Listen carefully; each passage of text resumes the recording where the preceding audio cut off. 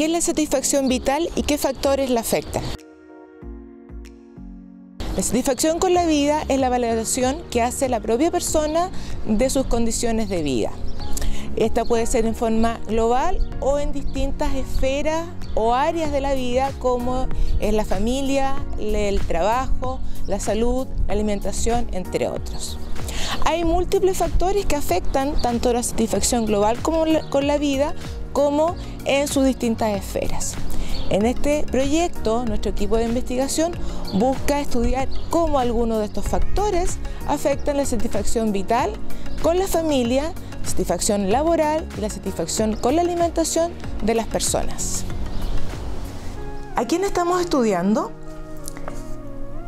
Estudiamos a familias biparentales, es decir, parejas que viven con sus hijos e hijas adolescentes y que cuentan con doble ingreso, porque tanto el padre como la madre trabajan fuera del hogar. Lo que buscamos saber es cómo las personas que representan el entorno de un individuo pueden ser afectados positiva o negativamente, no solo por los dominios ya mencionados, sino que también por los niveles de conflicto entre trabajo y familia, balance trabajo-vida, estrés psicológico y depresión.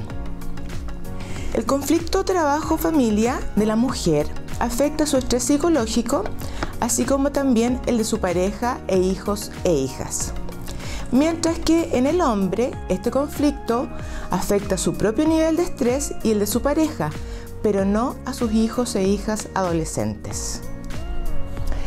De la misma forma, en la medida que uno o ambos miembros de la pareja logran un mayor nivel de balance entre su trabajo y el resto de sus actividades de la vida, como por ejemplo en el ámbito familiar, se produce un aumento en su nivel de satisfacción con la vida, con la familia y con la alimentación.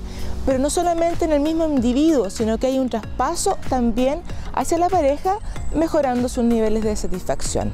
Lo contrario ocurre en el caso de que uno o ambos miembros de la pareja tengan síntomas depresivos. En este caso, a mayor nivel de depresión se produce una disminución en sus niveles de satisfacción vital, familiar y alimentaria, pero también hay un traspaso hacia la pareja disminuyendo sus niveles de satisfacción. De tal manera que la depresión es más que un problema individual, sino que se transforma en un problema a nivel familiar.